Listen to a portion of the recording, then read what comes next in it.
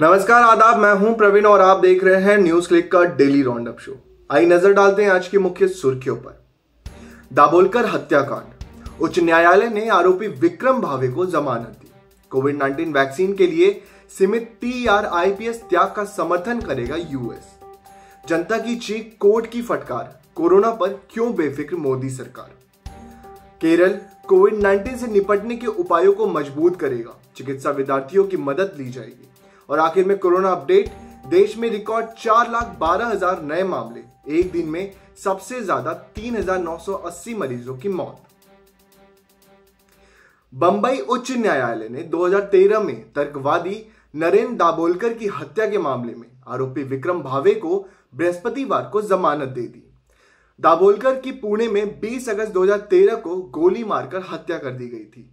भावे पर घटना में शामिल दो आरोपियों सचिन अंदूरे और शरद कालस्कर की मदद करने का आरोप है। न्यायमूर्ति एस एस सिंधे और न्यायमूर्ति मनीष पितले की पीठ ने भावे को एक लाख रुपए के मुचलके पर जमानत दी और उसे एक महीने तक हर दिन और फिर दो महीने के लिए हर दूसरे दिन पूरे में संबंधित थाने में हाजिर होने का निर्देश दिया। अदालत ने भावे से मामले की सुनवाई में पेश होने और किसी भी सबूत से छेड़छाड़ नहीं करने और गवाहों को प्रभावित नहीं करने और किसी भी तरह से अवैध गतिविधियों से भी दूर रहने का निर्देश दिया है। सीबीआई की तरफ़ से पेश अधिवक्ता संदेश पाटिल ने आदेश पर रोक लगाने का अनुरोध किया। हालाँकि उच्च न्यायालय ने इसे इनकार कर दिया। पब्लिक हेल्थ एक्टिविस्ट नागरिक समाज संगठनों और ग्लोबल साउथ नेशंस के नेतृत्व में अंतर्राष्ट्रीय गठबंधन के बढ़ते दबाव के बाद संयुक्त राज्य अमेरिका ने अंततः कोविड 19 वैक्सीन को लेकर इंटेलेक्चुअल प्रॉपर्टी राइट्स वेवर को लेकर झुक गया है। बुधवार पाँच मई को अमेरिकी व्यापारी प्रतिनिधि कैथरीन ताई ने घोषणा की कि अमेरिका का जो बाइडेन प्रशासन कोविड 19 वैक्सीन के लिए सीमित टी आर आईपीएस त्याग का समर्थन करेगा। एक बयान में इस निर्णय की घोषणा करते हुए ताई ने कहा कि असाधारण परिस्थितियाँ असाधारण उपायों की मांग करता है। आगे उन्होंने कहा कि राष्ट्रपति जो बाइडेन और उपराष्ट्रपति कमला हैरिस बौद्धिक संबंधा सुरक्षा में दृढ़ता से विश्वास करते हैं। लेकिन इस महामारी को समाप्त करने की सेवा में कोविड 19 के टीकों के लिए उन सुरक्षा की त्याग का समर्थन भी करते हैं। ताई ने यह भी कहा कि टीके के लिए भारत और दक्षिण Africa T R I P S यानी trade related aspects of intellectual property rights द्वारा प्रस्ताव का समर्थन करने के लिए अमेरिका विश्व व्यापार संगठन में वार्ता में भाग लेगा। हालाँकि अधिकांश ग्लोबल साउथ नेशंस ने इस प्रस्ताव का समर्थन किया है, लेकिन अमीर देश अभी भी इससे अलग थलग हैं। सिर्फ़ जनता ही नहीं, अब तो कोर्ट भी कहने लगी है कि यह ऑक्सीजन की किल्लत से हो रहा जनसंहार है। मतलब साफ़ है कि कोरोना वायरस से ज़्यादा ये शासकी यानी कुव्यवस्था लोगों को मार रही है। लेकिन मोदी सरकार ने अपना रवैया अब तक नहीं बदला। कोरोना मौतों और ऑक्सीजन किल्लत से ध्यान हटाने के लिए बंगाल में चुनाव बाद हिंसा के विरुद्ध भाजपा अब ममता बनर्जी शासन के खिलाफ धरना प्रदर्शन कर रही है। आइए देखते हैं वरिष्ठ पत्रकार उर्मिलेश जी का यह विश्लेषण। दोस्तों, बंगाल में चुनाव हारने के बाद भारतीय जनता पार्टी ने अभी भी अभी भी जनता के जनादेश के सम्मान में अपना सर नहीं नवाया है। ऐसा लगता है कि जनादेश से वो अभी भी खौफ में है, अभी भी गुस्से में है। अब वो इस बात का बहाना करके कि यहाँ बहुत हिंसा हो रही है चुनाव के बाद और सिर्फ़ बीजेपी के लोगों के खिलाफ हो रही है, वो पूरे राज्य में क्या पूरे देश में धरना दे रहे हैं?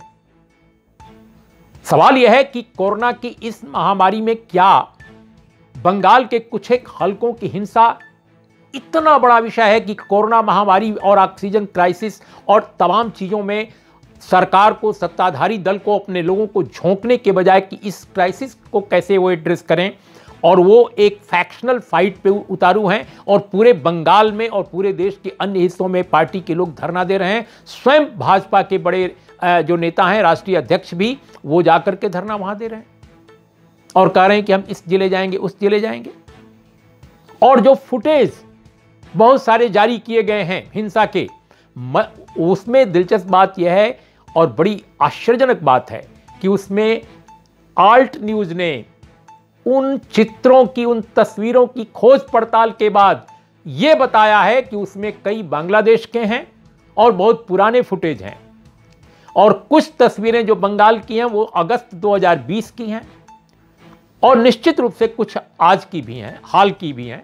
यानी कल और आज के बीच की हिंसा निंदनीय है। एक जर्नलिस्ट के रूप में मैं इसकी कड़े शब्दों में भर्सना करता हूँ, चाहे जिन लोगों ने भी की हो हिंसा। हिंसा की पड़ताल होनी चाहिए, लेकिन याद रखिए, कल तक राज्य चुनाव आयोग के अंडर में था, प्रशासन उसका था। राज्यपाल महोदय अगुवाई कर रहे थे एक तरह से राज्यपाल होने के कारण नाते। लेकिन ममता बनर्जी जो आज शपथ ग्रहण की हैं। सारा दारोमदार उन पर डालना, मैं समझता हूँ कि यह जनादेश का निरादर है। अगर ममता बनर्जी टेक ओवर करने के बाद भी हिंसा को नहीं रोक पाती हैं, निश्चित रूप से उनकी निंदा होनी चाहिए, उनकी आलोचना होनी चाहिए। लेकिन इस मुद्दे को कोरोना की अपनी विफलता का एक तरह से कवच के रूप में इस्तेमाल करना भारतीय जनता पार्टी द्वारा यह बेहद अफसोसनाक है, दुर्भाग्यपूर्ण है। महामारी ये चीज़ नहीं है, ये महामारी वो चीज़ नहीं है कि आप ध्यान हटाते रहें, लोगों का अन्य जैसे मसले आपके थे, कभी आर्थिक मामला, कभी कोई राजनीतिक आपसे गलती होती थी तो फ़ौरन कोई ना कोई आप बहाना ढूंढकर कोई बड़ी घटना, कोई करा देना या कहीं कोई और मामला उठवा देना संसद से संसद या संसद के बाहर, ये वो मसला नहीं है। ये मनुष्यता पर बड़ा खतरा है, देश पर बड़ा खतरा है, हमारी नागरिकता पर बहुत बड़ा खतरा है। इसको पॉलिटिकल एक इशू नहीं समझना चाहिए। केरल में कोविड 19 के मामलों में प्रतिदिन हो रही वृद्धि के बीच राज्य सरकार ने जमीनी हालत से निपटने के लिए मेडिकल की पढ़ाई कर रहे विद्यार्थियों और सरकारी अधिकारियों की तैनाती कर कोरोना वायरस संक्रमण के खिलाफ उपायों को मज़बूत करने का फैसला किया है। केरल में बुधवार को कोविड 19 के इकतालीस नए मामले आए, जो एक दिन में सर्वाधिक हैं। मुख्यमंत्री पिनरई विजयन ने स्थिति को गंभीर करार देते हुए कहा कि संक्रमण को रोकने के लिए कड़े कदम उठाए जाएँगे। विजयन ने अधिकारियों के साथ हालात की समीक्षा करने के बाद कहा कि वार्ड स्तर की समितियों को मज़बूत करने के निर्देश दिए जा रहे हैं, तथा इलाके के मेडिकल छात्रों को त्वरित प्रक्रिया टीम में शामिल किया जाएगा। उन्होंने संवाददाता सम्मेलन में कहा कि पीठासीन अधिकारियों के साथ साथ विधानसभा चुनाव की प्रक्रिया में शामिल हुए सभी अधिकारियों को इन समितियों और टीमों में शामिल किया जाएगा। केंद्रीय स्वास्थ्य मंत्रालय द्वारा आज गुरुवार, यानी 6 मई को जारी आंकड़ों के अनुसार देश में पिछले 24 घंटों में कोरोना के रिकॉर्ड चार लाख बारह हज़ार दो सौ बासठ नए मामले दर्ज किए गए हैं। इसके अलावा कोरोना से एक दिन में सबसे ज़्यादा तीन हज़ार नौ सौ अस्सी मरीजों की मौत हुई है। साथ ही इसी बीच देश भर में कोरोना से पीड़ित तीन लाख उनतीस हज़ार एक सौ तेरह मरीजों को ठीक किया गया है और एक्टिव मामलों में उन्यासी हज़ार एक सौ उनहत्तर मामलों की बढ़ोतरी हुई है। देश में कोरोना के मामलों की संख्या बढ़कर दो करोड़ दस लाख सतहत्तर हज़ार चार सौ दस हो गई है, जिनमें से अब तक दो लाख तीस हज़ार एक सौ अड़सठ लोग अपनी जान गंवा चुके हैं।